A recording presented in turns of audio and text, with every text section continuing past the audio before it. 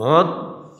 শুধু fancy dealer ইয়াবা নয় তামাকও মদের অন্তর্ভুক্ত। এটা একটা মাদকতার অন্তর্ভুক্ত। আহলেদিস আন্দোলন বাংলাদেশ। আসুন পবিত্র কুরআন ও সহি হাদিসের আলোকে জীবন গড়ি। বাঁচার জন্য ইহুদিরা যখন আল্লাহ পাক নিষেধ করলেন যে তোমরা চর্বি খেও না তোমরা এত বদের বদ চর্বি খাইতো না। চর্বি গলাইয়ে সেগুলো বিক্রি করতো বাজারে করে সেই টাকা খাইত। যেহেতু চর্বি খাওয়া নিষেধ তা আপনারাও নিজেরা হয়তো তামাক খান না, হয়তো জর্দাও খান না, কিন্তু তামাক বিক্রি করে টাকা তো খাচ্ছেন। পুরো ইহুদিদের কারবার। আমরা উত্তরবঙ্গে বসবাস করি, আমাদের জীবনের শুরু থেকে এর বিরুদ্ধে কথা বলে আসছি আমরা। এখনও বলছি, তামাক ব্যবসায়ীরা কী খাবে? খাওয়ানোর দায়িত্ব আপনাদের দায়িত্ব আল্লাহর। ওটা অবশ্যই বাতিল করতে হবে, সেখানে ধান চাষ করেন, পাট চাষ করেন, গম চাষ করেন, ভুট্টা চাষ করেন। আল্লাহ পাকে বাংলার জমিনে বহু কিছু সুযোগ রেখে দিয়েছেন। আজকে দেখলাম অস্ট্রেলিয়াতে একটা আলুর আট কেজি ওজন হয়েছে। বরকত কীভাবে হচ্ছে দেখছেন? কদিন আগে দেখলাম একটা কুমড়ার ওজন হয়েছে একত্রিশ মন। কি বলবেন এখন? সুবাদাল্লাহ বলবেন না? জীবনে শুনছেন, একত্রিশ মন একটা কুমড়ার ওজন হয়?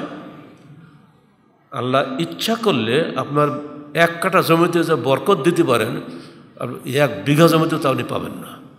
যদি আপনি হারাম থেকে দূরে আসেন, আল্লাহকে বলেন, আল্লাহ, আমি হারাম বর্জন করলাম, তামাক চাষ করব না। আমি এক কাটা জমিতে ধান চাষ করলাম, তুমি বরকত দাও। ওই এক কাটা ধান চাল দিয়েই আপনার সংসার চলবে ইনশাল্লাহ আপনার কোনো কষ্ট হবে না। আল্লাহ রুজির মালিক, বিশ্বাস করুন, হারাম থেকে বেঁচে থাকুন। ফলা তাশ্রীবান্না খামরান খাবারদার তোমরা মদ খেও না। ফাইন্নু রাসুল কুল্লে খাতিয়াতেন, মদ হল সমস্ত পাপের মূল। এটাকে উম্মুল খাবায়েস বলা হয়।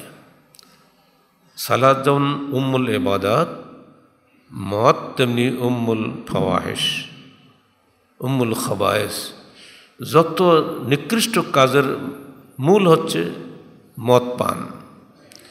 বাংলাদেশে যে কত গ্যালনকে গ্যালন মদ পান করা হচ্ছে তা হিসাব নাই। সারা দেশ এখন মদকে সয়লাভ হয়ে গেছে। অত দেড় হাজার বছর পূর্বেই বিষয়টি সম্পর্কে আমাদের নবী মোহাম্মদ রসুল্লাহ সাল্লাহ আলিয়া সাল্লাম পরিষ্কার ভাষায় জাতির উদ্দেশ্যে বলে গিয়েছেন, দেখো খবরদার মদ যদি চালু হয়ে যায় সমাজে, এটাকে হইলে উম্মুল খাবায় সমস্ত খবিস কাজের মূল হচ্ছে মদ মদ ঢুকলে তার মাথা ঠিক থাকবে না। অথচ বড় বড় মজলিসে মদ পানের আসর বসতেছে, বড় বড় হোটেলগুলোতে মদের আসর বসে, বাইরের লোক টের পায় না। সমস্ত পাপের মূল হচ্ছে মাদকতা, আর সমস্ত এবাদতের মূল হচ্ছে সালাদ আবার মদ খাবেন নিয়মিত আমার মদ খালি কী হবে? কন্ট্রোলে আছে, সমস্যা কি? জি না। আপনার চাইতে বড় জ্ঞানী আমার রসুল, আপনার চাইতে বড় জ্ঞানী আমার আল্লাহ। এই পরিষ্কার ভাষা সুরা আলেমরা নব্বইয়াতে নিষেধ করে দিয়েছে, ইন্নল খামরা, ইন্নল খামরো আল মায়সরো আল আনসাব আল আজলাম রেজিস্ট্রেম আমল শেতন ফস্তানে খবরদার। আল্লাহর কালাম, রসুলের কালামের অবাধ্যতা করে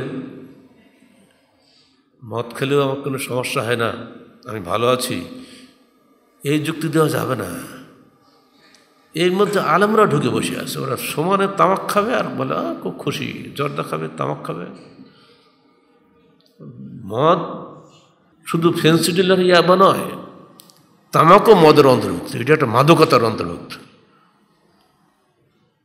কুল্লুমা আসকারা কাসিরুহু কালিলুহু হারাম। যা বেশি খেলে মাদকতা আনে, তার কমটাও হারাম। আপনি সুস্থ মানুষ, তামাককে বসে থাকুন তো দেখি, স্মৃতি পড়ে যান কিনা? আপনি হলেন তামাক খোর আপনি একশোটা খেলেও আপনার কিচ্ছু হয় না। আপনাকে দিয়ে আইন নয়, আইন হবে সুস্থ মানুষকে দিয়ে। অতএব তামাক জর্দা বর্জন করুন, সঙ্গে সঙ্গে তামাক যত যাবতীয় পণ্য বর্জন করেন যারা তামাক চাষ করেন, উত্তরবঙ্গের বিশেষ করে কুষ্টিয়া, রংপুর, এসব জায়গাগুলোতে এসব তো চাষিদেরকে বলব, টাকার লোভে তামাক চাষ করবেন না। এই হারামের চাষ করে যত টাকা ইনকাম করবেন, সমস্ত টাকাটাই হারাম হবে।